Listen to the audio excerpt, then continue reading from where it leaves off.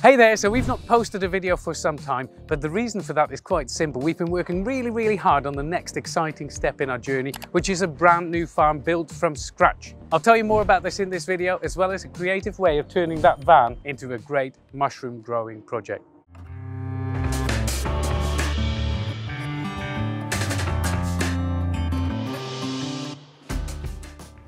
So we'll tell you more about this new farm in a bit, of course, but first some really, really exciting news. We've just found out the other day that we've secured finance for this new farm through a program called LEAP and it's run by the Real Farming Trust. We're really pleased to work with them on this. They've got this vision of supporting and building from first principles a whole new farming, food and farming system, supporting and building new farmers for the future. So really pleased to be working with them. The farm that we'll be building is less than a mile from here. It's absolutely ideal for all of our plans. It's been a lot of planning though. I mean, you're talking about lots of five-year forecasts, governance reports, you're talking stress tests, profit and loss accounts, social impact reports, all of that stuff. But that's now behind us and now it's really exciting because this farm here around me is just not so suitable for us anymore. Loads and loads of bottlenecks that we've had fun solving along the way. We've outgrown it basically. Now there are some more updates as well. That's not the only thing we'll be working on. So you might be thinking as well, what will you be doing at this new farm? So the new farm is going to be about four times the size of the farm that we've got here. And that in itself is really exciting just to have the space to do all the things we've been wanting to do for years now. But on top of that, it's just going to be a blank slate as well. So the farm we're in at the moment is not really fit for purpose. Not only is it too small, but all the rooms are in different places. We've got steps up and down everywhere. It's a nightmare to move around with lots of heavy substrate everywhere. So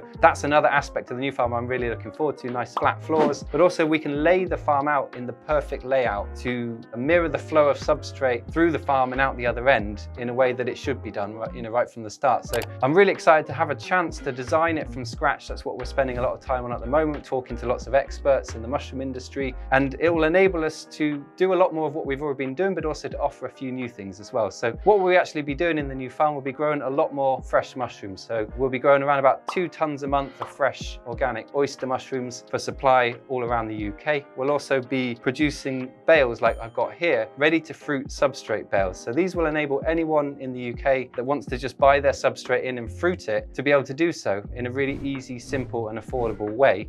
And this can be perfect, you know, if you don't have much space, for example, you only need a fruiting room at that point in order to produce mushrooms. There's also a really easy way in as well if you're just getting started and you don't want to go through the learning curve of producing your own substrate, you can just buy ready to fruit substrate in. So if you're interested in that and you're in the UK, please do get in touch. We'll be starting to supply that later on in the spring. In addition to the fresh mushrooms and the substrate bales, of course, we have our mushroom kits as well, which we've been doing for many years now and we find a lot of satisfaction in. All of these products also are going to be organically certified. We've just gone through the process. So it's been a busy few months for us and we're really excited about what we can do in the new farm. Obviously the production side is just one element of it for us. We are focused on a lot of other stuff as well. So Eric will tell you the other things that we'll be working on. So alongside the production at the new farm, we'll be doing other things too. So many of you know that we've got a strong focus on supporting and helping others to grow mushrooms. And we're so, so proud of the fact that over the past few years, we've been able to build up and support and engage with a community that spans over 70 countries around the world. Just from this humble farm here, it's pretty awesome, I think. And the thing is, we used to run one-day workshops at the farm as well, and we'll look to resume those at the new farm. And that's really exciting, so people can visit a mushroom farm,